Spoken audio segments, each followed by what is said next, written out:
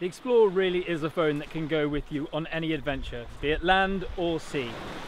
Using the Adventure Pack case that comes with the phone, you can simply click it to your buoyancy aid. It's fully waterproof, got wet finger tracking and glove mode, which means you can use it when you're in the water.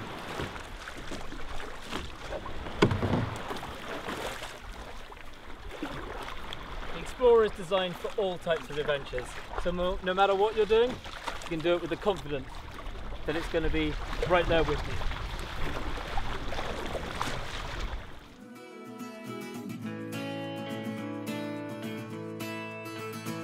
So should something bad happen, that means that you end up being fully submerged, you can be confident your phone is still going to be working.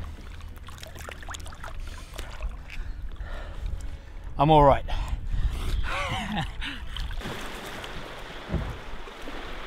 and if for some reason your phone does get submerged in salt water, be sure when you get back to the beach to give it a good rinse.